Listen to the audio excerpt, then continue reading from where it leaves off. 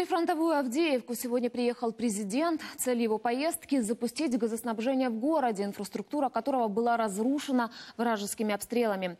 Вместе с главой государства прибыли на Донбасс и почти 70 дипломатов. Зачем и какие месседжи прозвучали от Петра Порошенко, знает Руслан Смещук. Свой визит в Авдеевку Петр Порошенко начинает с торжественного открытия газоснабжения прифронтового города. После обстрелов 17 года люди жили здесь без нормального центрального газоснабжения. Де не лише Авдіївка, але й сім окресних сіл будуть підключені до системи надійного газопостачання.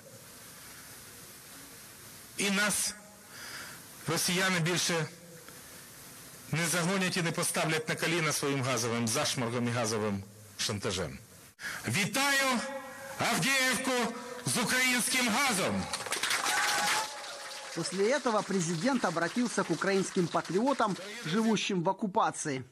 Вірте, український прапор, український герб,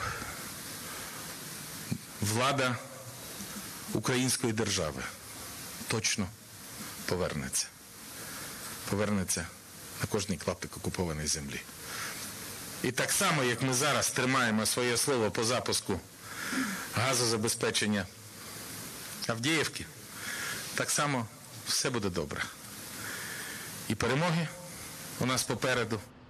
Авдеевский Коксахим – это следующий пункт в программе рабочей поездки президента. Здесь Петр Порошенко подписывает закон о госгарантиях для участников боевых действий. Це забезпечується і гарантуються права українського війська в зв'язку з проведенням операції об'єднаних сил. В той же час гарантується підвищення рівня соціального захисту українських військовослужбовців. І на сьогоднішній день я переконаний, що це є той крок, яким ми рухаємося в дуже правильному напрямку. Дорогі військовослужбовці, вітаю вас всім. Тут же министр иностранных дел рассказал, что достигнута договоренность с правительством Литвы, и теперь литовцы возьмут на себя шефство над Авдеевкой. Е, Наші литовські друзі дуже уважно дивляться над тим, щоб взяти своєрідне шефство. Причому не шефство над окремим об'єктом, а подивитися, як саме литовська присутність, а литовці це не є наші справжні друзі, підняти Авдіївку.